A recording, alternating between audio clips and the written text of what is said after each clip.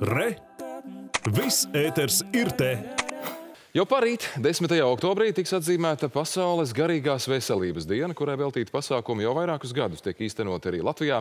Jāteic, ka tieši pandēmijas laikā jautājums par garīgo veselību un psihoemocionālo labsajūtu ir kļuvis sevišķi aktuāls daudzās vecuma grupās. Tiesa pētījuma kompānija Kantar septembrī veikta aptaujā noskaidrots, ka gandrīz 3 ceturdaļas strādājošo Latvijā savu emocionālo stāvokli darbā raksturo kā kopumā pozitīvu. Par šo tematu plašāk tulīt saruna ar Rīgas Stradiņu universitātes viesdocētāju Latvijas ergoterapeita asociācijas viceprezidenti Undu Avotu.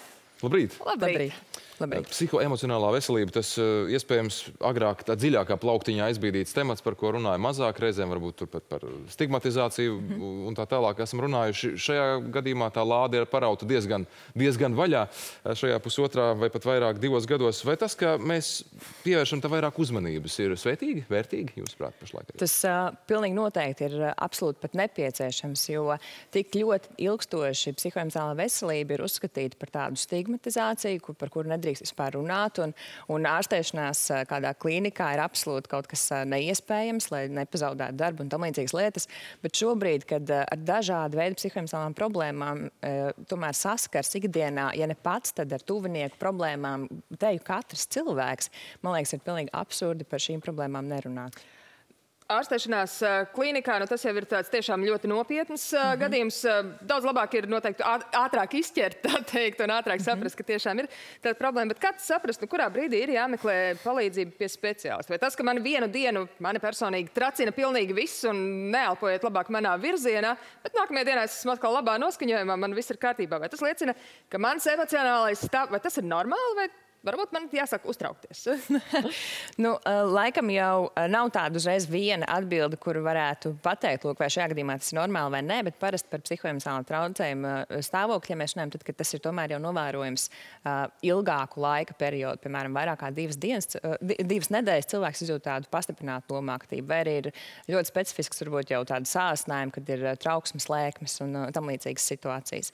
Bet tas, kas ir ļoti būtiski, ir cilvēks patiesībā patiesībā pats jūt, ka viņš vienkārši jūt, ka viņš ir kaut kur iestrēdzis, vai, vai viņš nejūtas labi, viņš nejūtas laimīgs. Viņam it kā pat viss ir, un nav nekādu tādu objektīvu iemeslu ārēju, lai viņš varbūt sūdzētos par kaut ko, bet viņš vienkārši nejūtas labi. Un tad varbūt arī īstenībā ir laiks, lai domātu, kaut vai, pre, vai nu preventīvi rūpētos par šo psihoemocionālo veselību, vai jau varbūt meklētu pat speciālas palīdzību, ja tās sūdzības paliek arvien lielākas un lielākas. Mēs zinām, ir tieši ceļš uz kabinetu, ir sākotnēji attālinātas konsultācijas, dažādi krīžu palīdzības tālruņi, kurus arī cilvēki ir mudināti izmantot šajā laikā. Bet eh, cik vispār kopumā ir dažādas eh, un daudzveidīgas pieejas? Varbūt mums reizēm tā eh, ārpus kastes ja, ir jāpalūkojas uz to, kā sev palīdzēt šādā. Jā, nu, protams, pieejas eh, paliek arvien vairāk un vairāk patiesībā. Ir uh, dažādas uh, psihoterapijas metodas tiek izmantotas un tā, bet kā viena no tādām pavisam jaunākajām uh, lietām, ko es varētu pieminēt, ir piedzīvojuma terapijas izmantošana šobrīd, kuru mēs burtiski Dombieru grupā, burtiski pēdējos divus gadus sākam izveidot un attīstīt, kas ir veids, kā palīdzēt savai psihoemocionālajai veselībai, nevis dodoties uz kabinetu četrās sienās runājot par to, bet dodoties piedzīvojumos ārā dabā.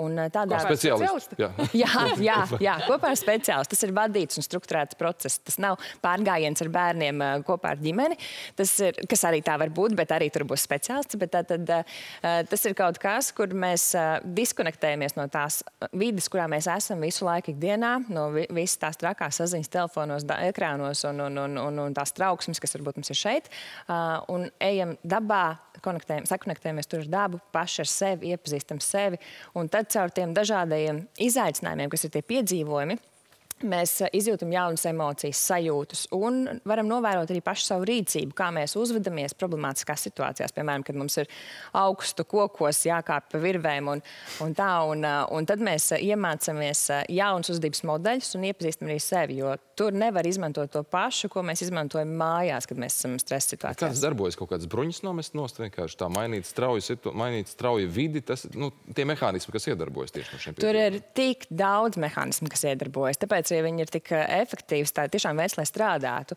Uh, viens no tiem ir tas, kad ir grupas dinamika, jo pārsvarā pieciem terapija no, norisinās grupā, tāpat kā daudz cits, piemēram, psihoterapijas metodas arī ir grupā.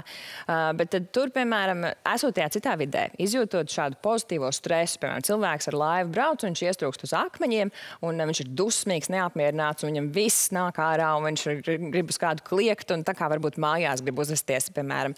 Bet uh, tur tas nav iespējams. Viņš tur, ja, ja viņš tā darīs, viņš vienkārši paliks tur, kur viņš ir. Tad šeit viņam ir jāmeklē pilnīgi citi veidi, kā tikt ar to galā. Un pēc tam ir otra, tas otrs posms, kurā tas viss tiek pārunāts, analizēts, caur kuru sevi iepazīst un var sevi mainīt. Būtisks jautājums. Ir ļoti labi, ka cilvēks meklēs spēt, palīdzību, bet jautājums, kā atrast tiešām profesionālu, kompetentu un labu speciālistu. Jo zinām, ka mums Latvijā netrūkst cilvēki, kas sevi sauc par psihologiem. -hmm. Pamatoti, nepamatoti, tur ir dažādi. Aizliegtais paņēmiens pirms kāda Jā. laika, vesela raidījuma tam bija veltīts. Un tiešām tā aina iezīmējas ļoti dažādi. Tas, ka cilvēkam ir pierakstīts psihologs, nenozīmē, pirmkārt, ka viņš obligāti ir kvalificēts to darīt. Otrakārt, nav zināms, kādas kvalitātes palīdzību viņš sniegs. Un patiesībā vai to problēmu nepadarīs vēl sliktāk. Neskaitot to, ka cilvēks naudu būs par to samaksājis. Jā, es piekrītu. Tas, lai cilvēks tiešām parūpētos par savu drošību un veselību, arī meklējot šo veselības palīdzību, ir, ir noteikti svarīgs solis, un ko vienmēr vajadzētu atcerēties pirms mēs šādu veselības palīdzību meklējam un saņemam. Mums ir nepieciešams pārbaudīt šos speciālistus asociētās. As, tātad asociācijās. Ja? Parasti katrai organizācijai ir sava vai nu kaut kāda biedrība, organizācija, asociācija, kas, kas reģistrē speciālistus, kas ir tiesīgi praktizēt, un, un, un par viņiem arī tā teikt atbild un saka, jā, lūk, pie viņu jūs varat doties. Um, Droši vien tas ir tas mehānisms, kā jūs vairāk vajadzētu skatīties pašiem līdzi, lai ne, neieberstos tur, kur negribās. Nu, tieši tā, lai dabas terapija neizvēršas par vienkārši pastaigu dabā ar kādu Jā. pavadoni, kurš eh, labākajā gadījumā izklaidēs. Galvenais, lai no meža var izvest. Labākajā gadījumā izklaidēs, sliktākajā gadījumā pat ne, neizvedīs no meža. Tieši tā. Paldies, ka atnācāt un pavērāt skatu uz šo jaunumu Latvijā dabas un piedzīvojumu terapiju. Paldies par Paldies, savu. Paldies!